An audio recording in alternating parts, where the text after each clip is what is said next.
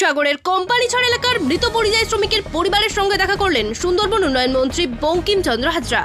আশ্বাস দিলেন পরিবারের পাশে থাকার।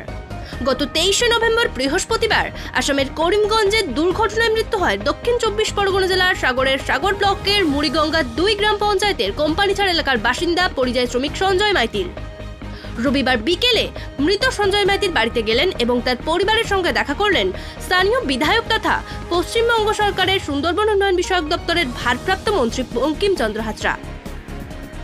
মৃতের স্ত্রী, বাবা, মা ও পরিবারের সদস্যদের সমবেদনা জানানোর পাশাপাশি সরকারি সুবিধা ও আর্থিক সহযোগিতার আশ্বাস দেন মন্ত্রী।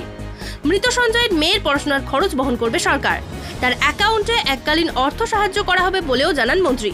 এর পাশাপাশি মন্ত্রীর অভিযোগ, একশো দিনের কাজ বন্ধ হয়ে যাওয়ার দরুন এই সমস্ত যুবকেরা ভিন রাজ্যে পাড়ি দিয়েছিল। এদিন সুন্দরবন উন্নয়ন মন্ত্রী বঙ্কিমচন্দ্র হাজরা আরও বলেন, দ্রুত কেন্দ্রের সরকার রাজ্যের বকেয়া টাকা মিটিয়ে দিক।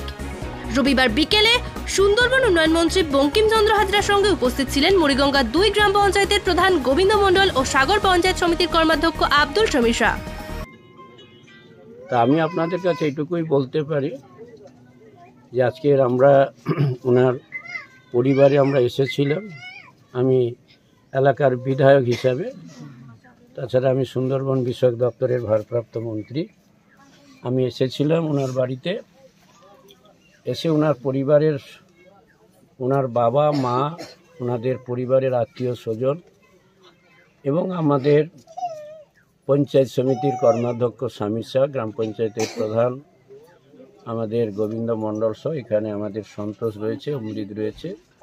আরও বহু গুরুজন মাস্টারমশাই আমাদের রয়েছেন এবং গ্রামবাসীরা রয়েছে।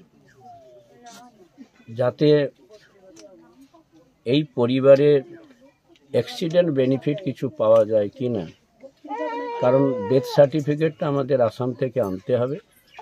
ডেথ সার্টিফিকেটে পাওয়ার পর আমরা নিশ্চয়ই এই পরিবারের ক্ষেত্রে যতটুকু সাহায্য, সহযোগিতা করার আমরা করব। গঙ্গাসাগর থেকে সৌরভ মণ্ডলের রিপোর্ট, বেঙ্গল আইকন নিউজ।